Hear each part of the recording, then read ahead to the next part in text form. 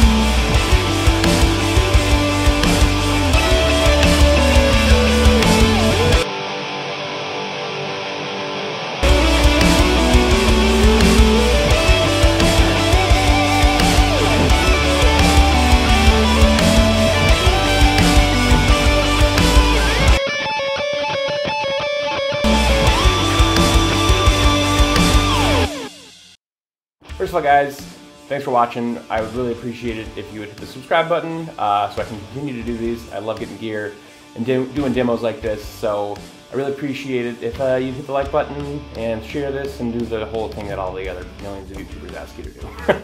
As always, an everyday guitarist, I use $7,000 gear to use the Balaguer Espada. I use my Revv generator 740, a uh, bunch of pedals, all under $1,000 clearly. Um, Rockaway Archer, ODR1, DOD Rubberneck, a couple other things just whatever kind of felt right at the time.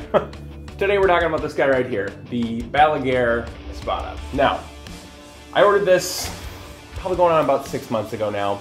Uh, it is, first of all, amazing looking. Pink with the tortoise shell pickguard, ebony fretboard, uh, 16 inch radius, two of their feral humbuckers with coil split. Uh, it does a whole bunch of really cool things. It sounds really good, it feels really good. So let's start with the couple of negatives first. So first of all, uh, if I'm being honest, uh, there was some weird stuff going on with shipping and whatnot. It was supposed to be shipped in September, ended up not being shipped until December, which is fine. It all worked out okay, and I mean, at $6.99, a Chinese-made guitar with all these specs is great. Uh, but the, the, that's the first thing is it took a long time to ship. To be fair, it's the first run. I'm sure they're still figuring stuff out, and that's okay. Uh, but just be aware that you might end up having some similar issues if you were to purchase this, uh, this guitar. The fretwork is okay, they don't feel awful.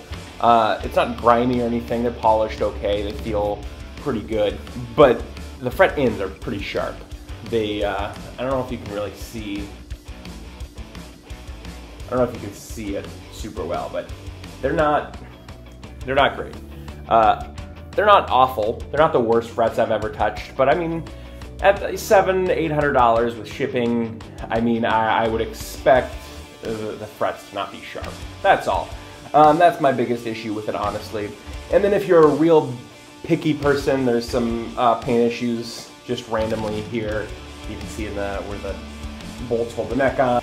There is a minor flaw in the neck where the neck meets the, the, the maple. Uh, other than that, I think it's fine. Uh, now the good things, because there's a lot more good things than bad things. First of all, Graph Tech tuners, locking tuners, ebony fretboard, 16 inch radius.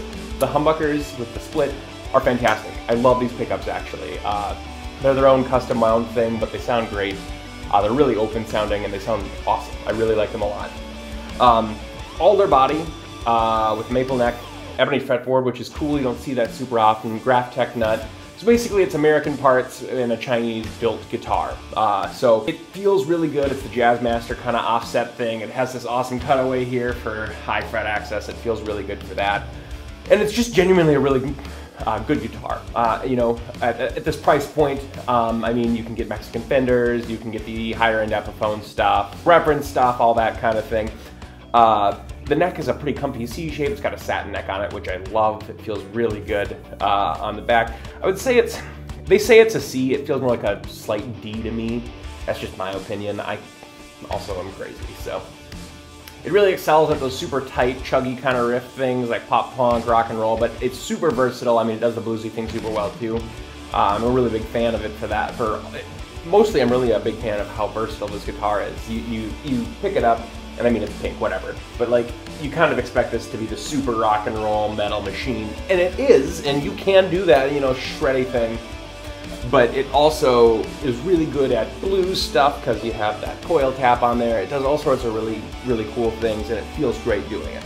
Past the negative, if you look past a couple of the negatives which are fixable, I mean, frets being sharp is something you can take to any good tech and they can fix that for you. I'm not saying you should have to do that, uh, but you can. You know, you spend an extra 50 bucks or 100 bucks, they'll, they'll fix it for you you know, uh, past all those really slight negatives, in my opinion, it's a really great feeling, great playing, great sounding guitar, especially if you're in the market for something that's kind of versatile and has a hardtail bridge instead of the normal Jazzmaster bridge, which still has that kind of offset shape and really is just a true rock and roll machine.